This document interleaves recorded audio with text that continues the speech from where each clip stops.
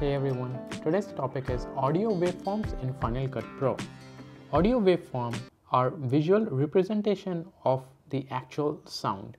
Audio waveforms appear in the clips in the following ways. As the bottom portion of a video clip or as a detached or audio clip only.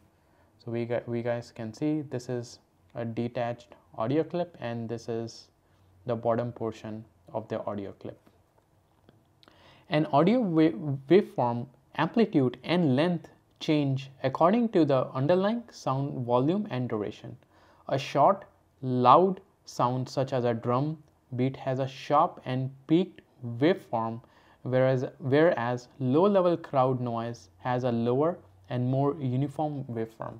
So you guys can see if it's a low-pitched noise, the wavelength will be like this and if it's a high-pitched it will be something like this and you guys can also see here a sudden spike which means it's a louder noise and here it's a, like a uniform and constant noise. If you guys have any questions please comment below and I'm gonna respond to that.